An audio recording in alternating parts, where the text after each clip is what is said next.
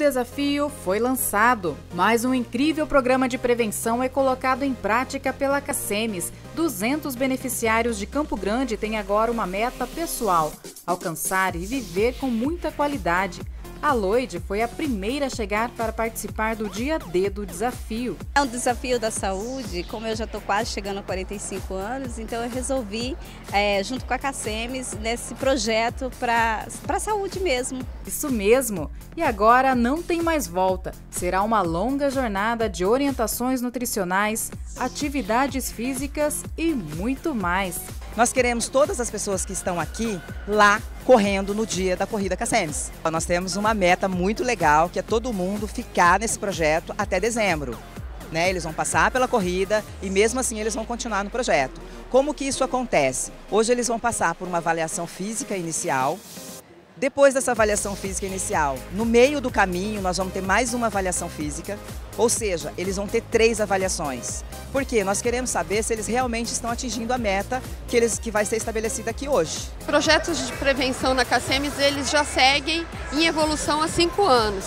Agora a gente vem com um projeto outdoor, fora, né? Fora da academia. Onde você mora, tem muitas condições em Campo Grande de você fazer corrida, de você caminhar, de você fazer uma yoga, um pilates, boxe executivo. E aí veio a ideia, onde moram os nossos servidores? A maioria mora aqui por Guanandi, Aero Rancho. Aí vai ter mais um pessoal no Jacques da Luz, vai ter Maria Aparecida Pedrocian. Nós vamos iniciar nos parques, agora das Nações, que pega o Parque dos Poderes, as secretarias, e o Parque Ayrton Senna.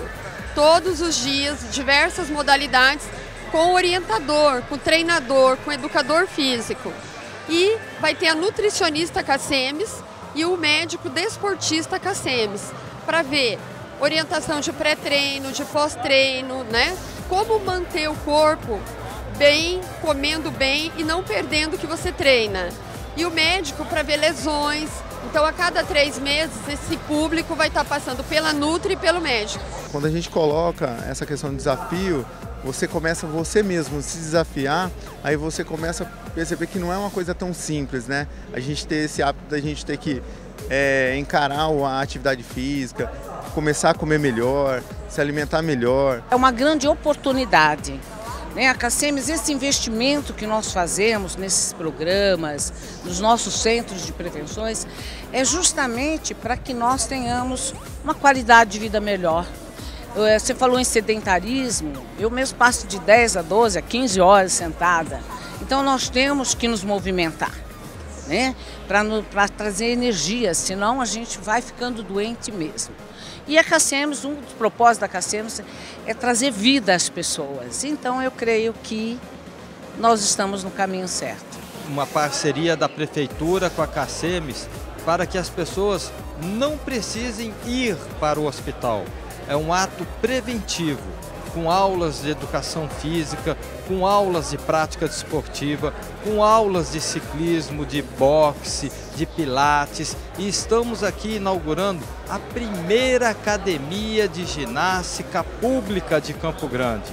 É uma parceria da Prefeitura com a Cacemes. Parabéns, Ricardo Ayashi. Ah, e a Loide, hein? A Loide escolheu funcional e pilates. Vai ser muito bom.